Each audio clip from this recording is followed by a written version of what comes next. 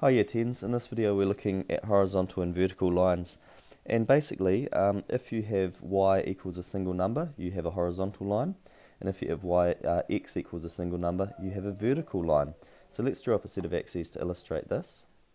Okay, so y equals 2 means that it has to go through the y-axis at 2 and then we just put a horizontal line through like that.